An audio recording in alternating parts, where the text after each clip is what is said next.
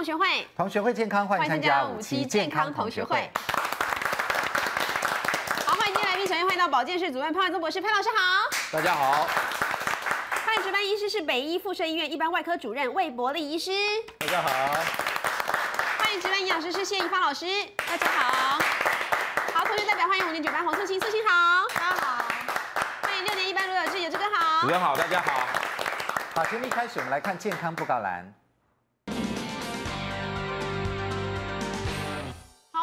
学会在台中要举办演讲签书会喽，时间在八月九号下午的一点半，在台中日月千禧酒店。主讲者是潘文宗老师，要讲的是让癌症不再是绝症，要跟大家谈的是免疫治疗哦，欢迎大家免费自由入场。对，谈到了癌症呢，其实大家都有点怕怕的。嗯，那尤其是大肠癌，因为是这个已经连续六年发生率第一名了。对，每次都是它这个发生率。换句话说，也就是说，呃，这个癌症跟饮食有关。那偏偏因为我们饮食西化的关系，所以常常这个癌症发生的人数哈，每年都是最高的。对，嗯，所以我们今天要好好的对付它。嗯，好，当然了，最重要的是我们的一些生活习惯。可能要改哈，对。然后我们今天请到了这个专科的医师来教我们这个大肠癌。好，我们先来了解一下大肠跟小肠，好不好？好，来，我们来看看小肠有将近六公尺，好，那大肠只有一点五公尺，那怎么作怪的是他不是他呢？好，来，小肠的口径大约四公分，是。我们平常吃那个猪小肠好像。好像没那么宽哎，四公分很宽哎，是把它撑大了还是怎么样？只有一公分，对，猪小肠在只有一公分，所以我在想说，这是不是猪跟人的差距呢？这个呃，魏医师是这样子吗？呃，其实看起来应该还在更小一点点，四公分其实是有点那么大了些，一般都是有疾病的时候它才会变得那么大。哦，所以其实严格在我们开刀的时候看，大概都是两三公分。啊，两三公分，吓我一跳，我想说四公分，那不是像大肠一样？对啊。然后大肠这边是六公分，六六六公分也蛮大，撑大了哈。不管怎么样呢，大肠小肠很容易分的哈，其实很容易分。好，那但是呢，这个大肠当中很特别哦，大约有一百兆个细菌在那里面哦。是，所以是不是细菌在作怪？对，当然是细菌在作怪啊。好多细菌都在我们肚子里面。当然，好的呢是益生菌，但我们希望它多一点。嗯。但是坏的菌呢，我看也不少，一百兆个里面总有个几。多少一都有趴数是坏的嘛，对不对哈？所以这个益生菌也是非常重要的。好，那我们请这个魏医师来带我们看一下哈，究竟这个呃大小肠的分布位置是怎么样，以及为什么我们常常都讲大肠癌、大肠直肠癌，嗯，没有小肠癌呢？小肠不会长癌吗？还是有，但是很少？哦，小肠会长癌，但是很少很少。为什么？我们以国内呃最新的资料了解到说，我们有一万四千例的大肠癌，在民国一百年的资料，是，但是小肠癌大概只有三百多人，三百多人，三百多人。但是呃，为什么会形成这样的一个一个这么巨大的差别？原因在于说它的内容物会有差。第一个，在小肠里面的东西是比较液态的，所以它里面就比较稀释，所以它对肠道的刺激比较少。到了大肠之后变成固态，它那个刺激浓度比较高，刺激比较多，这是第一个。哦，是这样。第二个是它的蠕动时间，在小肠里面的速度比较快，大肠里面比较慢，快，所以接触的问题。再来就是细菌，刚刚提到了，安德提到说细菌的数目不一样，对。那大肠里面的细菌非常的多，所以当然它会小肠相对少，因为它流速流速非常快。有道是所谓流水不腐嘛，流水不动得很快就比较不流水不腐。对。那再来大肠里面它。呃，小肠里面本身的这个 IgG 呃 IgA 这些免疫系统是比较多的，所以它对于癌症的产生比较具有防御力。哦，我本来还以为是小肠的消化液比较猛，都把那个 杀掉了，是这样子吗？应该是速度快，速度快。那为什么还是有三百多人得了小肠癌？是什么原因？这部分的呃成真正成因还有待去探讨。毕竟在我们环境当中，并不是只有吃的东西，还有我们先天的一些条件。那当然。呃，同样的条件之下，每个人的与生俱来的呃天分不一样啊。有的人的基因比较能够抵抗得住外面的这个问题，有的人比较不行。小肠癌是不是更难发现呢？一般它很难发现，因为呃不容易产生症状，不会不太出不太容易呃阻塞嘛，然后也不太看到出血的问题。所以常常来的时候都是比较有有息肉的问题通常都是痛。我们检查也没有办法到那边呐。嗯，现在我们的我们有胃镜跟大肠镜。对，胃镜一般就是到十二指肠最多，那么大肠镜上来到小肠的末端，可是进到很里面其实很困难，所以发现会比较严重，对不对？如果已经发现，比较容易晚发现。对，那发现的通常会怎样啊？常见的症已经末期了吗？还是常见的症状都是疼痛啦，或者是摸到就东西啦肚子，那疼痛？对，然后或者是摸到东西啊，有少部分情况是它影响到血管，然后大量的出血。哦在这种情况下，当然会让我们一直去寻找。那在呃经过一系列的检查之后，才会去发现到说，呃，可能是小肠好特别，今天这个因为专科医师来，就了解到有小肠癌。对啊，而且小肠癌原来这么那难发现小肠癌也跟饮食有关吗？啊、理论上还是有关的，因为还是有它们的呃成分是一样，都是腺癌哦，跟哦我们后来我们等一下癌会谈大肠癌的部分，它都是腺癌，嗯了解应该跟这个有关。嗯，好，来问同学一个问题好不好？如果我们长期坐着不动，哈，就是少运动的人呢，哈，长期坐着容易得到大肠癌，是真的吗？对还是不对坐着不？动哦。坐着不动。长期坐着不动会不会比较容易得大肠癌？哈，两个同学意见不一样。来，有志，你认为不会？因为刚才医师讲的很清楚啦，这应该跟饮食比较有关系，应该坐卧应该不太有太有关系了。我觉得应该跟吃进去的东西，跟吃进去的东西姿势应该 应该不会坐吧？着，对啊，坐着就是吃进去之后就一直 没有，就是你坐着多，不屌欸但是如果你吃的很健康，可能也不哦会是不是啊？不屌欸有这是这个意思啊。来，素清不同意啊？没，因为刚才医生讲一个重点，小肠跟大肠为什么小肠比较少，流水不腐？坐着你就等于没有流动嘛，哦你是不是？你的大肠就没有很认真在动啊？嗯所以他们那个时候之前有一个国内的健检诊所曾经去分析他们那个大肠息肉的检查结果，就发现这一群人普遍有共同的特色。哦第一个喝水喝的很少，第二个运动运动的很少，啊所以我觉得久坐一定有关系。对。不动哦，好，所以哎呦，那难道这个动不动也是跟这个大肠癌有关吗？来，我们请三位专家帮我们举一下圈插牌。来，长期坐着不动的人容易得大肠癌，是真的吗？哎呦。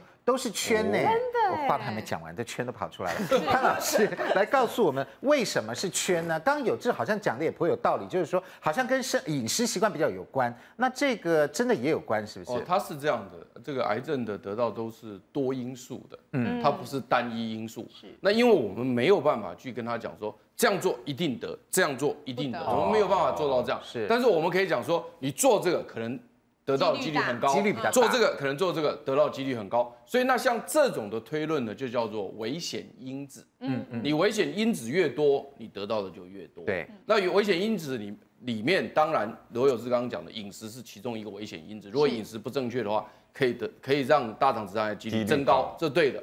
但是呢，运动也是。那第一个呃理由是怎么样呢？因为你坐着不动，肥胖，嗯，对不对？啊那你知道吗？大肠直肠癌的危险因子就有肥胖。真的啊，对对对对哦对对对，所以这第一个。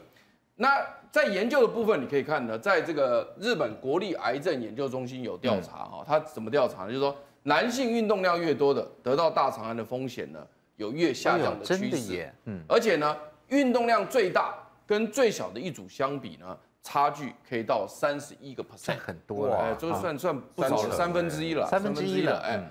那么第二个研究是在美国华盛顿大学跟哈佛大学做的研究报告，说每周运动四小时以上的女性呢，嗯。跟少于一小时的女性做比较呢，它可以降低四十40%趴耶对对哦对对。嗯，然后另外当然也有人做，这是有关这个大肠直肠癌，但也有人做息肉，息肉的，对，待会我们呃锁定我们的节目，我们待会会讲到息肉，因为有很多的这个呃息肉的类型啊。那么其中有一个息肉的类型呢，那么它呢得到之后呢，慢慢慢慢就会演变成癌症的机会。哦对所以因此，如果你能够降低这一种类型的息肉，当然也同样可以降低致癌的机会。所以在这边也看到这边有一则的研究，在美国看到，就是说不同种族近千人的研究呢，运动也可以降低大肠息肉发生率生率。所以总的来讲呢，从这边讲是说呢，并没有说一定得到，容易。它是容易容易，所以一定就是对如果你写一定，我就会差，啊或不一定。对，不一定，对对对对有这个几率存在了。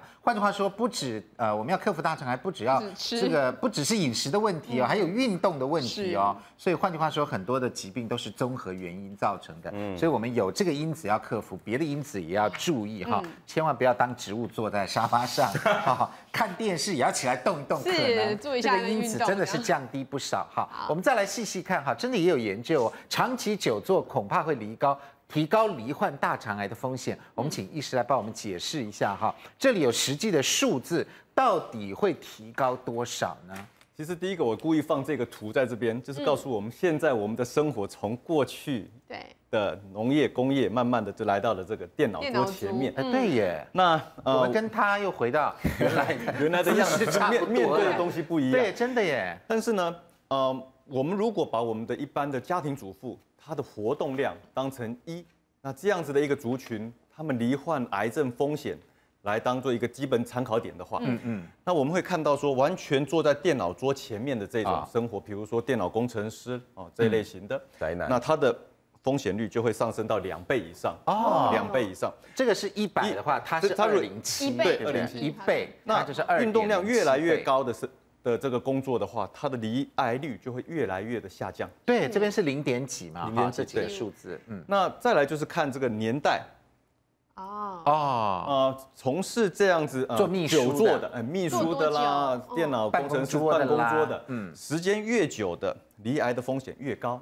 哦，所以呃，这个是我们在呃西澳的一个一个研究看到的一个结果，那所以它发表在嗯，民国是100年的所以如果我们的从事的工作，因为也没办法嘛，要嗯养养家活口嘛，从事的工作如果越静态，那么。呃，依照比例罹患大肠癌的几率可能会相对会高那个劳动派的要要相对来是是高哦。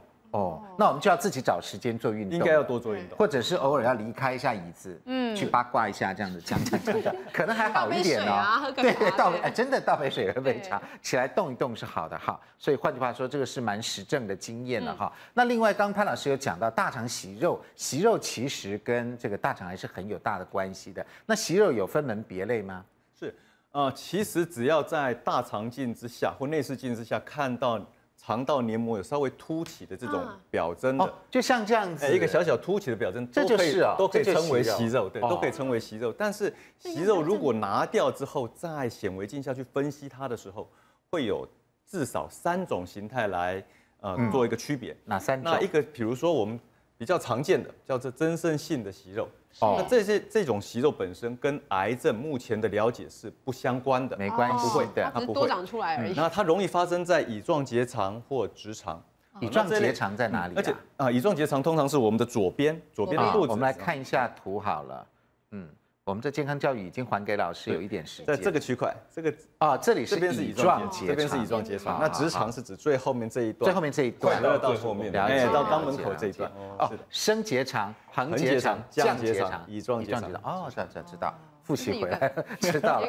所以乙状结肠的部分哈哈，好，国中时候的健康教育，所以增生性息肉是不是比较像我们年纪大了，皮肤会有一些长一些小痘痘那个一样吗？啊，或者脖子上不不完全一样。它事实上研究了解到的东西是说，它这个细胞本身反而生长得慢，所以它剥落的就慢，所以它堆叠起来是不是像鼻腔的那种息肉？像慢。粉刺，也不一又不样，太一样，是不是？也不一样。因为我也有鼻子的息肉，那常常会容易触碰敏感、打喷嚏，是不是？凸起的东西都叫息肉，我们刚才在强调，但是要看它里看它里面的内容物到底是什么，所以所以可能是长得慢堆积起来的，堆积起来的东西，也就是说是长得快但不是长得快。那为什么真的大部分是中老年人，嗯，比较好像息肉比较多呢？不会呃，还是这个息肉真正息肉跟年纪没关？这个跟跟年纪没有没有关跟对饮食有关。大小比较小，大概比较小零点二到零点五公分左右哦。那真的很而且小，长得慢，就是一个调压剂那样子的大小，嗯有没有大大小小颗这样的好。那第二个是腺瘤，这个是我们比较担心的吧？腺瘤就是所谓的腺性息肉。那刚刚呃潘教授已经提到了，我们现在的肠癌基本上都是走所谓绝大部分的呃了解都是走所谓的腺瘤到腺癌是这样子的一个序列。嗯，所以腺瘤我们常常可以把它视同是癌症的前身，前身哦，只是不同形态之下它的比率不一样，它的风险度不一样。嗯。那细分下来看，从它的结构上来看，会有三种情况，一个是管状腺瘤，一个是绒毛状腺瘤，的，那另外一种是两种都有存在的。嗯，就过去的研究上了解是，第一个，呃，绒毛的比率越多的，它产生癌症的风险越高。嗯真的，我们来看绒毛的就是这样它长得就是比较怪，它而且它比较大，你会发现它比较大颗比较大真的它比较大颗。它这个如果我大们做大肠镜，应该一下就看出来了吧？呃它跟它的不一样，对不对？其实做大肠镜，当然每一个医生都很乐意去帮每一个病患找到应该有的病灶，可是还要看到病病人本身的这个肠道准备。是。啊，因为有的病患本身他有时候准备的不足，比如说什么叫准备？因为我们在做大肠镜前要必须先喝一些泻药，然后哦喝多喝水，就清的没干净哎没清干净，所以有一些哦。粪便残渣或粪水，它有时候会遮掩住一部分对东西的时对对候，有时候间接会造成诊断上的那困难。通常像这个绒毛性腺瘤大概多大呀？刚刚看那个它跟增生性一点它跟点嘛，它的大小没有绝对哈，不是说一定是大的就一定是绒毛型的，是不一定我们所谓绒毛型指的是说在显微镜下去看它它的的细微的结构，哎，它的细微哦结构看起来哎是像绒毛这样哎比较像绒毛状的样子。了解。那大小当然这样子的这种息肉，这种线性息肉是比较有能力越长越大。嗯，那在这个时间的过程当中，长得越大的，当然它当中潜藏癌细胞的机会也越高。哦嗯所以我们呃都会鼓励民众尽可能将这些息肉都把它移除。所以看到了腺瘤，比如说看到绒毛状腺瘤，它可能还不是癌，对不对？对要把它剪掉，对对不对？对在大肠镜时就要把它处理掉。哦，了解。所以它还不是癌，它还不是癌但是呃也有部它的几率会转它有变，它会跑过去，它有机会跑过去。了解，不过它基本上已经长得有一点怪怪的了，是是不是？怪怪了。好，来，这个叫做发炎性息肉，又是什么发炎性息肉其实又称为伪息肉。假息其实肉啊，其实反过来看，它事实上是周遭的构造往下陷，间接凸显它的高处。哦，这样子，嗯，嗯那呃，就像风化一样的地形。哎对，那所以所以事实上它的底座是因为它有一些发炎的反应存在冲掉而间接产生嗯凸起的部分，好像看起来像个息肉一样的。了解那这样的东西其实就跟呃肠癌是无关的，嗯，只是你会看到，比如说我们举举这个例子来看它的它的图像上看起来会让临床医生也会觉得非常的可怕。对，这对发而且炎好像而且也不容易发有时候也不容易去区区别哈。对，所以，我们通常看到这样子的构造的时候，还是会取样，请我们病理科的同仁再来帮我们做进一步的分析，来确定这样的一个这个不。能不能切了吧？这个已经变这个太这这像这样子的太严重了，大概就没有必要去切，呃，没有办法去切，这是第一个。再来但就是因为它也还不是癌症，对，因为它不它也不会变癌，所以不它是见得发炎它是发炎，所以它不见得要把把它每一个都拿掉，只是说要那这可以去取样医好吧？哈，呃，如果他基本的这个发炎性疾病能够得到良好控制的时候，这些问题是可以逐日的改善。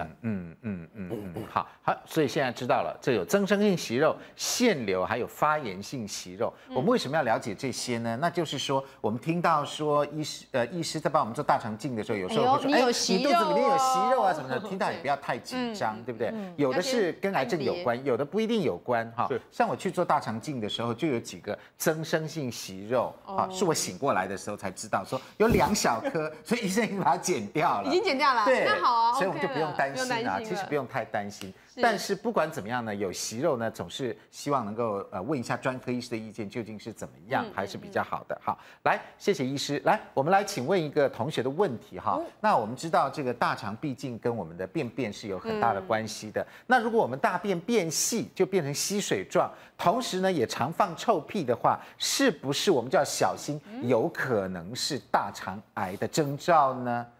放臭屁跟便便细突然变很臭，对，有可能，不一定。好，究竟我们大家所担心的，回头一看，哎呦，这便便怎么变细了？不太一样哦或者是对，突然、嗯怎么最近好像臭屁不断？那这样子跟大肠癌有关吗？广告回来就告诉你。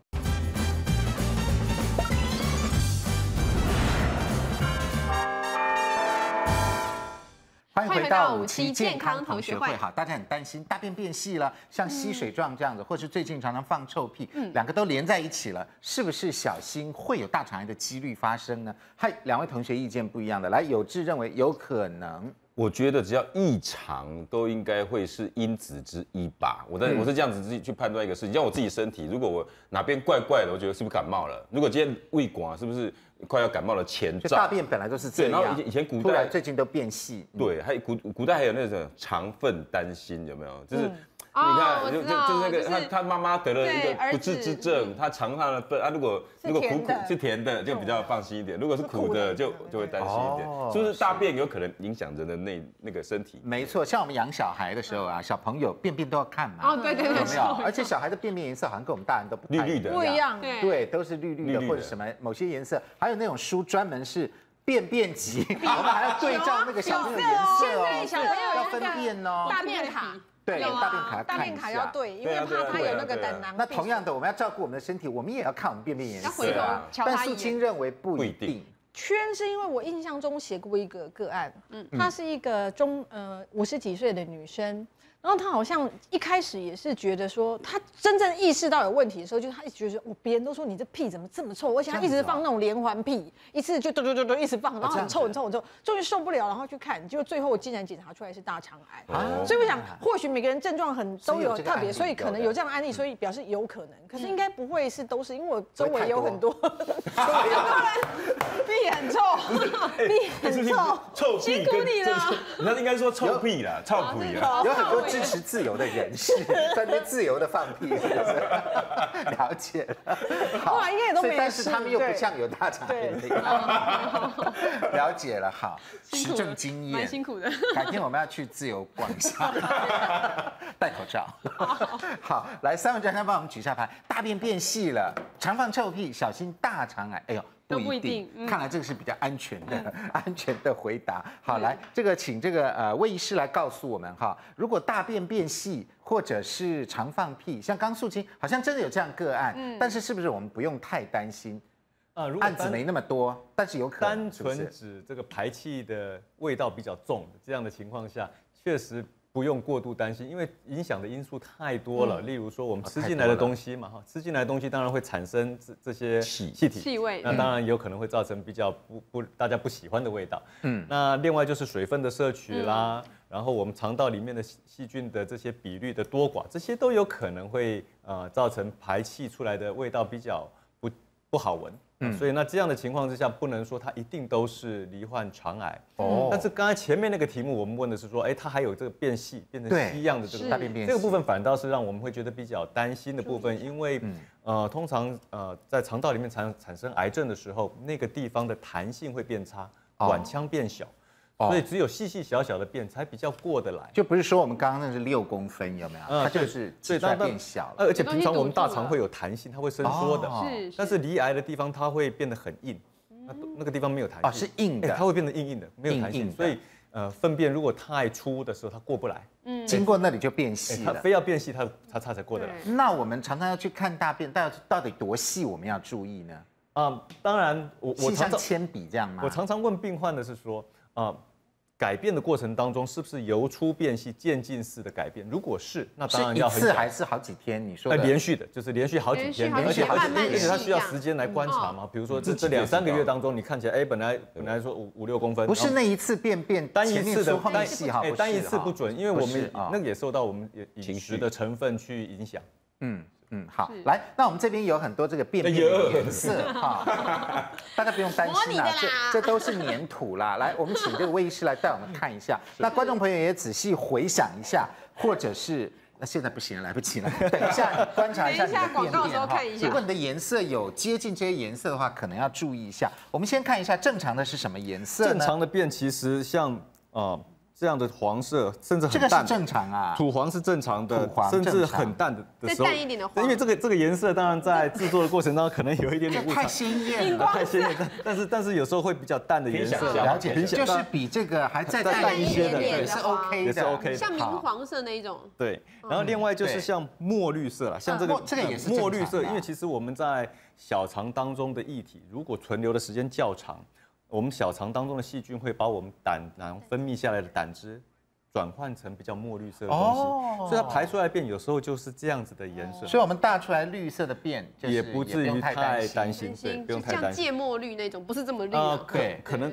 要更暗更深绿。比对更深绿比芥末的芥末绿还是比较亮，我们暗暗绿色，暗绿色，深色的叶子那样子，对对对对，十字花科那样蔬菜的颜色，对，更深绿色，更深绿色。更深绿色，更深一菜点对，其实我们。临床上，如果是重症病人，通常他的变性都会比较深绿色。哦重症病人。我，还有一个经验呢，那个便便的变绿色是前一晚我喝不少的红酒的时候，第二天好像变得绿绿墨绿绿色的，真的啊不就是是红酒是不是吃出来红色啊不是是不是红色哦，反正不是红色，不是绿色哦绿色。绿那个可能是你是不是有呃胆汁逆酒精本身去刺激到肠道的，对你可能有胆汁逆流的问题所以。它它就流的很快，所以所以它的很快就流下来了。所以他还没有他还没有稀释魏医师，那我问你，为什么小朋友的便便大部分都是绿色的？也没有都是绿啊，那个那个是因为小朋友为什么？因为母乳里面含有寡糖，嗯那寡糖的话，它其实会让呃肠道里面一些好好菌生长，所以它是绿色，那是正常的。可是大人绿色那就比较诡异的，因为我们在临床上看，真的重症病人一旦绿色，其实我们都有点紧张绿绿色应该不对吧？最好还是这样黄黄人家说那个有个成语叫“囡仔丢给他骂骂号，暗时透那串七赛”，对，绿色的便便反而就不对了。那个对不对是是可是他们如果说呃，我们这样子好了，我们呃小孩子喂养过过程当中，有一些是母奶，有一些是婴儿配方奶对粉。通常婴儿配方奶粉它的变性是比较黄色，是但是母乳会比较呃绿色，是为什么？是因为母乳里面含比较多的寡糖所以其实是酸性比较酸，所以它会那个绿色，是不用担心对。所以小孩子变其实跟大人变呃呃颜色基本上是会有点差异。有时候我们还要留小孩变给医生看，是对对啊有有有不对？有有吧？哈，这个我都几乎快忘记了。对，我刚我刚经有历过时候跑。医院有没有？对我刚刚经历过还留着那如果是黑色的呢？黑色的话一些含木炭的东西，就黑色的东西我们我们我们比较关心的是呃胃啦，胃跟十二指肠，当血它发炎呃跟溃疡的时候，哦它有些出血，然后经过一段时间这样流下来，它的便的颜色就比较是所以如果我。们大出黑色的便，又回想说好像没吃墨鱼，饮食上面没有什么没什么特别的话，那也要注意。其实可以，去看看呃肠胃科的医师甚至甚至哦。必要的时候可以做一些胃镜的检查，去哎呦。厘清看看是不是有有胃溃疡。呃胃溃疡的叫的部 Talis 分。do，对它有时候可能是我们呃，有时候我们吃到铁剂也会变这个颜色，所以大家不用那么担心。是，所以这个这个颜色这个要注意。对。好了解。那红色当然就会很小心了，因为血便嘛哈，血便血便大家就会比较关心说啊，当然成因很多。那当然，如果说做成像这样子成型之后那可能太红了可能不得了了就要很小心是上面来的。那如果说呃这个解便的过程当中是像水一样滴滴答答下来，从肛门口滴滴答答下来，那或许是根本来自于肛门口痔疮痔疮，嗯所造成的出血。肛门口的痔疮可以。分辨。白色的部分，白色白色部分其实大概就通常都有问题，因为一定是胆汁下不来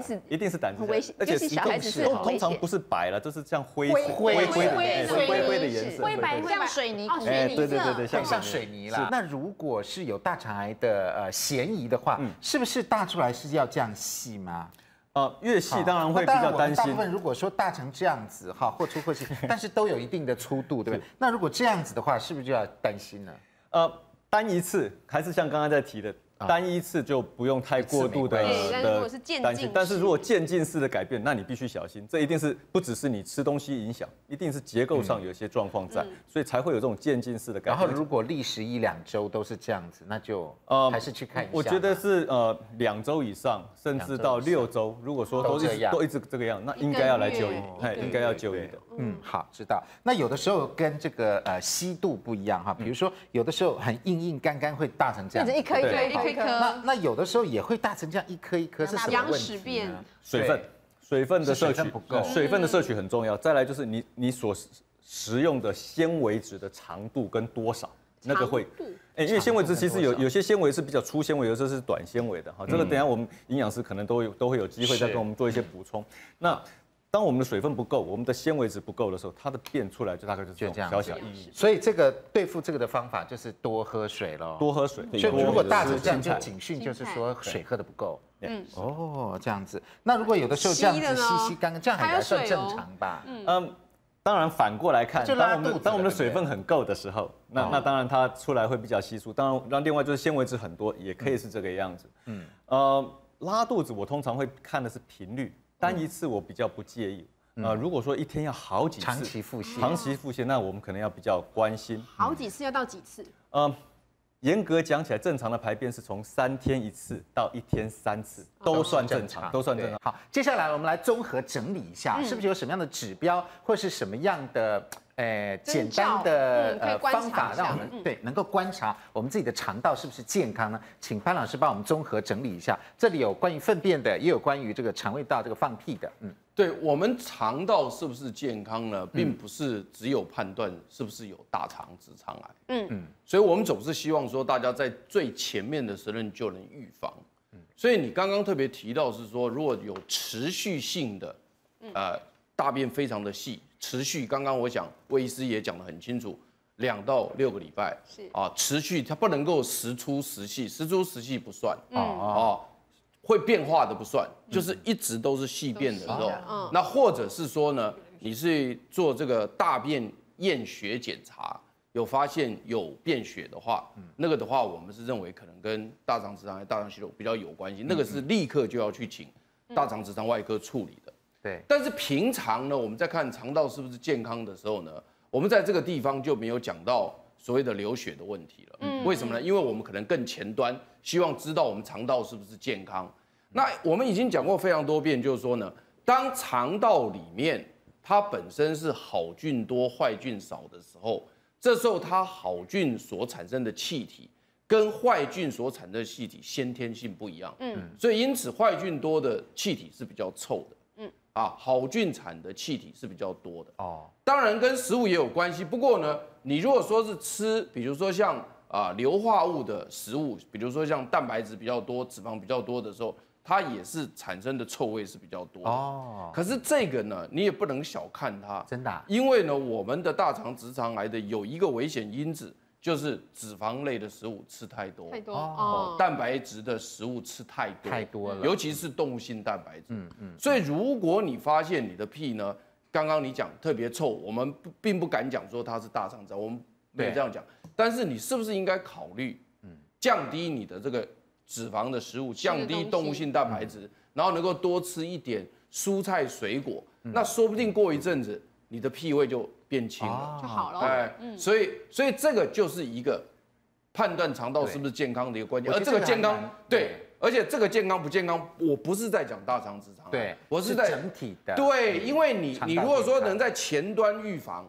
我觉得那是一个好事。那么气体的部分之外呢，我们还有所谓的粪便。嗯，那刚刚你花了非常大的时间在讲它的颜色。对，当然是我们要去判断，因为颜色的不同也代表不同的疾病在后头。对，所以当你看到颜色的变化呢，你必须要去回想你昨天吃了些什么东西。对，那或者你连续经常出现过好几次的时候呢，我们也建议大家立刻要就医。嗯啊。那比如说，举个例子来讲，你说今天如果你出现有血样的粪便，对不对？嗯。那假设说这个粪便有血样，基本上民众是会紧张的。对。嗯。但是我们其实比较担心的是看不到血的那个有的的那个血便叫潜藏性的血便，那那个只能透过验大便来做。嗯。但是你如果看到血呢，大家就会觉得说啊，黑底层。对，嗯，但是其实不一定，不一定，其实也不一定。这个都如果说假设有这种情况，最好还是找专科医师看一下，因为为什么呢？因为我们并没有规定说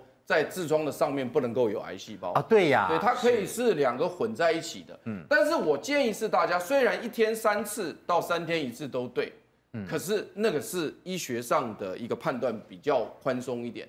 我们还是希望大家，如果能每天去排便，每一天是会更好。对对，我们期望大家。那你怎么可能每天都排便呢？就是你的蔬菜水果吃的多，纤维质吃的多，它的量会，它量大，量它量大呢，你就会想要去上。对。那如果你精致食物吃的多，比如说都吃那种所谓加工食品什么的，量就小。所以我们还是希望说呢，排便量哈，我们希望说这个量能能够到达一天一次。我们是比较建议的，还有规定要大多少公克？那我怎么知道？这个拿起来数，这个哈，这个东西是确实有讲过，就是说呢，呃，便秘的定义啊，啊，便秘的定义虽然刚刚有讲过，一天三次或三天一次都不算便秘，对，但是布里斯托对于粪便的分类法，这是目前我们国际上分类最重要的一个，就是说呢，如果你就算每天都有大，对。大出这种便啊，都叫便秘，真的。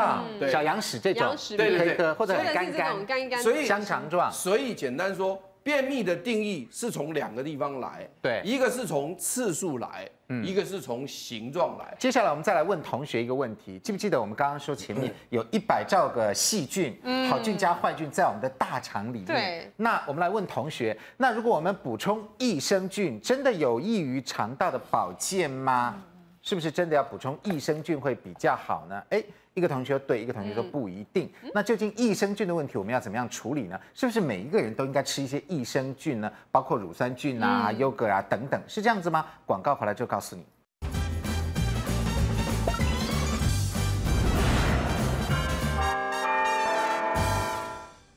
欢迎回到五期健康同学会。哈，关于益生菌的问题，我们也常常被人家问说，哎，到底益生菌到底要不要补充？其实自己也搞不清楚，太多琳琅满目了。对，没错，不但种类多，而且有的摆冰箱，有的不摆冰箱。对啊，定状、粉状啊。对，有的是生的，有的是死的。有的时候真的蛮困难的。但是总体来讲，是不是补充益生菌有益于我们的肠道保健呢？好，这个是不一定的。医药记者说不一定，社会记者说对。对，安德哥，你讲对了，这就是记者的不同。啊，真的吧？你看医疗记者他的想法比较，哎，我们社会记者呢，就义义嘛，就是好，他们可能好好。朋友多交几个啊，对我们跑新闻有帮助啊，对不对？警察的多认识一点，消防认识一点，那边好朋友多认识，里长多酒又多喝一点啊，对不 行不行，我们的消息来源就会越来越多。你看益生菌，那对于我们肠道，如果多交点好的，那不是很好吗？对不对？医药记者。有道理哦。我打圈是因为。潘老师演讲题目常常益生菌有绿肠道菌，没有会影响你的喜怒哀乐，还会影响你的喜怒哀乐哦。但是是这样子的，为什么我们都会多想呢？就是说，当然如果你补充到好菌，当然是有帮助的。但问题是来了，就是说我一直在想，呃。第一，你真的有吃益生菌，但是进去是不是真的有到，或者吃对了是不是适合你的菌？那是另外一个问题啊。没，因为你知道，之之前有一个某社会记者，真的，某社会记者，他甚至吃的多么多么讲究，你知道吗？他吃的益生菌还要量身定制呢。啊，就是先去看他的那个，对，是谁了？是是是，所以我就在想，是不是所有益生菌都真的对肠道，还是每一支益生菌其实还有不同的功效，不一定都是整肠的哟，它可能也就是说，比如说我们从早喝到大的一些乳酸饮料，对，它也也。很多都宣称里面有益生菌多少多少多少，说明它有不同的机机能嘛？对对，可能可能也未必对于我们人体好，搞不好喝下去很多糖嘛，现在才知道。对，好来，三位专家帮我们举一下，原则上补充益生菌是不是有益于、有助于肠道保健？哎，全部都圈了，嗯，没想太多。素清真的想，不要像素心想那么多。你看，答案有可能哦，有可能，是不是要有圈圈叉叉起来？感觉上就像你写的。好，来那个呃，这个呃，魏医师哈，来告诉我们，这个肠道益生菌哈，就是益生菌是不是真的有益于肠道保健？素清所担心的就是说，你看因人而异，每个人这个品种啊不一样嘛哈。那我们吃进去的还真的不一定通得过那个强力的胃酸。那这样我们是不是有时候有一些白吃呢？嗯。益生菌吃基本上都是好的，所以我我非常同意 朋友要多交，好朋友要多交，坏朋友不要交，交好朋友。好，所以所以吃是有帮助的。那刚才安德也提到一个很重要的东西，我们吃进去到底有没有活下来？对。另外一个观念是，吃菌不如养菌。养养哎，所以也就是你要给它一个好的环境哦。这个蔬果纤维质本身是这些益生菌它。生活下来所需要的一些能量啊，所以我们吃蔬果是对他们也好，对他们好。所以，所以你除了补充益生菌之外，你应该给它提供一个好的环境给它，让它能够好好的生长。也就是说，如果我们吃红肉啊，肉太多啊，蛋白质、脂肪太多，那个那样就是不好，那个就是对它也不好，对它不好，因为因为基本上它那个环境就变差了。环境变差的时候，它到那个地方就它长不起来，那没有用。再来就是益生菌呢，越多种越好，越多种越多种越好，所以换来换去的。哎，不不一定要非某一个厂牌，了解。哎，不同厂牌换来换去反而好，哎，反而好。因为因为慢慢久了之后，你你过度的某一个族群太多的时候，它。影响到其他族群啊，对，反而不好，反而不好。也就是在我们肚子里面最好五族共和了哈。对，联合国，联合国，对，联合国是最好的了哈。好，来我们来看这个图也蛮有趣哦。肠道当中呢，天使跟魔鬼的战争其实不断发生在我们肚子里面。你想一百兆个细菌嘛，好的坏的常常打架。好菌的话呢，你看有乳酸菌啊、比菲德氏菌等等，当然 A、B 菌啊等等，好多好多，对不对啊？哎，进而还有叫做四基菌的，这边还有叫做坏菌的，坏菌的有什么呢？荚膜梭菌、沙门氏菌、诶绿脓杆菌、金黄色葡萄球菌，有没有？这些菌是坏的，这些都是坏的，不好的。那四基菌有大肠菌、肠球菌、连锁球菌，为什么有四基菌？是就看它就它就是墙头草，就像刚刚啊墙头，它是墙头草，它是。这边多它就靠过去，那边多它就靠过来。这个肠道菌的这个发生，就是我们小时候其实出生妈妈传给我们的好菌是蛮多的，对。但随着时间的演进就不一样。产期的这个荚膜菌它就越来越多了。啊，这个是坏的，对对。好，坏的就真的是越来越多。所以你看，你看到说像像比菲德氏菌，它就会慢慢少下，慢慢下来。所以到，所以为什么也看到说罹患肠癌的病患通常会年纪比较长的比较多啊？成年期老啊，成年期老人。嗯嗯嗯，所以换句话说，我们平常多吃益生菌，然后多种类一点，多种类，多种类一点，可能也是比较好的。好，那再接下来呢，我们再来帮大家提供一下，如果我们要让我们的肠胃道肠胃道好的话，当然是多吃这个蔬菜。是，像刚刚医生讲的，给他好环境。对，给他好环境。那我们这边呢，提供大家四个扫把，好，四个扫把帮我们把肠道清干净。我们请怡芳老师来告诉我们，基本上呢，这些是吃的东西，比如说十字花科蔬菜，是不是一把扫把？洋葱、生姜跟大豆，这些都是对我们肠道菌好。肠道好吗？对。呃，尤其十字花科哈，它真的是研究是告诉我，它可以预防大肠癌。当然是因为它里面异硫氰酸盐，它其实作用机转非常复杂哈，它真的能够减少呃癌细胞的产生哈。所以平常要多吃十字十字花科一些蔬果哈，包括像高丽菜就很好。虽然它纤维质含量不是很多，可是呢，它里面另外还有一个脯氨酸啊，其实对我们的体还是有帮助哈。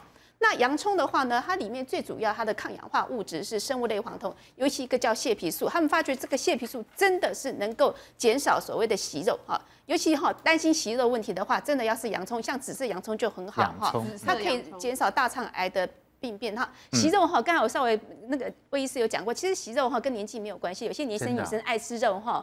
呃，爱吃素食的话，好，它其实它整个大肠里面都是息肉。真的。那通常这些跟没关系，跟饮食。年轻美眉哈，其实再怎么漂亮，搞不好肠子都一堆息肉。但是这些美眉，你跟她讲，你不要吃肉哈，你改吃少吃肉，少吃油炸的东西，很可能第二年来做的时候，它息肉有些会少的很多，真的变得很光滑。所以大家还是要特别注意哈。是。那另外姜的话呢，姜的研究是认为它里面有姜辣素，姜辣素是个抗发炎的，而且的确是动物实验当中哈，他认为是说能够加速癌细胞死亡哈。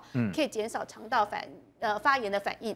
那通常姜我们要吃新鲜的姜，效果比较佳。新鲜的姜，就生的。对，譬如说，嗯，蛤蟆汤里面放点姜，好，我们炒菜放点姜就 OK 了。嗯嗯。好，那大豆的话呢，它最主要是说，对黄豆的话，它因为它是植物性蛋白质，通常动物性蛋白质还是真的对啊大肠比较不好，尤其是红肉。潘老师，你对于益生菌以及我们所列出来的这四个好扫把，有没有什么要补充的呢？呃，我想刚刚魏主任啊特别提到有关养好菌。这是确定的，对，因为我们人类的大肠也很有趣，就是说呢，呃，你从出生了以后所产生的这些，在叫做啊，叫做原住民菌啊，我常喜欢用这个名称。这个原住民菌很奇怪，就是它早先在你肠道定居之后呢，这个比例很难改变，真的。所以你会发现说，以我个人经验也是一样，就是说呢，我虽然补充益生菌。但是它补充的期间呢，它的粪便形状啊什么情况都会比较好。但是你如果停掉之后呢，它马上又回到原来的所谓的原住民菌的比例去。对，所以人似乎有一个就是说，谁先捷足先登，谁就会造成那个比例一辈子就几乎是这样。那就是妈妈传给我们的最重要。对对对，所以我才所以我才讲过非常多遍，就是说呢，其实小孩子在出生的时候呢。它的那个很多的环节都非常重要，我们讲过几遍了。就第一个就是说呢，自然产跟剖腹产差很多，真的哈。对，因为呃剖腹产，我们所拿到的菌呢，都是那个护士阿姨跟医生伯伯手上的菌。哎呦，对。那如果说你是自然产的话呢，我们会拿到妈妈产道上面比较多，因为妈妈产道如果没有。所谓的发炎反应一般都是健康健康的，他会拿到比较多的益。那就通过的那一刹那这么快哦？他会拿到，对，会拿到。就像你抓那个小孩起来就，就已经拿拿到了啊。对了，对不对？那另外呢，就是第二个就是说呢，呃，母奶，母奶里面的那个益生菌的菌种就非常的有用哦。对，所以如果说你是吃妈妈的母奶，你可以得到大量的益生菌的菌种。可是如果你吃配方奶，没有，没有，一点都没有，一点都没有。然后接下去就是你从青少年时期，从儿童时期，你是不是吃了非常多刚刚魏主任所提到的蔬菜跟水果？因为我们原来给了你那么多的好菌，就你不养它，嗯，就像说哈，我们找了安德这么好的人，给他丢到深山上去养，你不是死掉吗？不会呀，因为他随缘，随缘啊，随缘。他当兵当兵第一天就可以变。不是因为他一肚子坏水，所以对，开玩笑。所以我的意思就是说，我们要给他一个环境养。嗯，所以从这边你就可以感受到，就这个小孩子这一辈子的身体好或不好，从出生到喂母奶到儿童时期的饮食，对，都非常重要。所以才有很多人问我说，其实我们真正更要做的是要落实。这个所谓的家庭跟儿童的饮食正确的观念，对对对，其实会比因为等到我们长大之后呢，其实我们的那个菌种定型是非常严重的。嗯，不，这时候如果你做呢，还是不无小补啦。比如说你能够。吃这个蔬菜水果，能够让肠道的这些比例好一点，对，也是有帮助，没错，也是有帮助。嗯嗯嗯。那另外除了这个大肠癌以外呢，其实我们的肠胃道还有一个很严重的病哦，那个可能比大肠癌的人还要多，叫做大肠激躁症。激躁症，对，感觉好像随时要去上厕所。是。有一位仁兄坐在那里，对，一肚子不不不好水，好水，要把水排掉的，但是好水留不住，对，要排掉。对对对，一直像流水一样也不行。好，所以他。的这个原住民可能没那么好，这个叫做大肠肌躁症。来问同学一个问题：大肠肌躁症像潘老师这样子的，是不是等于拉肚子呢？就是大肠肌躁症就是拉肚子呢？哎，都说不是哦。可是潘老师真的蛮常上厕所的 啊？不是为什么？他有两个两个不是，一个不是是大肠肌躁症的表现不一定是拉肚子，有一些是便秘型的，有一些是混合。还有便秘型的。第二款是拉肚子，也不等于大肠肌躁症，因为你可能有别的原因。两两种不一样。换句话说，拉肚子可能包含很多东西。对。哦，有治。我也是另外一种，我我有治，我也有大肠肌躁症，但是我是另外一种。我一个我在马桶上可以坐四十分钟一个小时。因为你是坏水啊。我是坏水。我跟安德哥是同一阵线。他留下来。了解。所以这个两个大。大肠肌躁症都不一样，那究竟大肠肌躁症、大肠肌躁症等不等于拉肚子呢？大肠肌躁症又应该怎么办比较好呢？怎么样让他的肠胃道也能够逐渐恢复健康呢？广告回来就告诉你。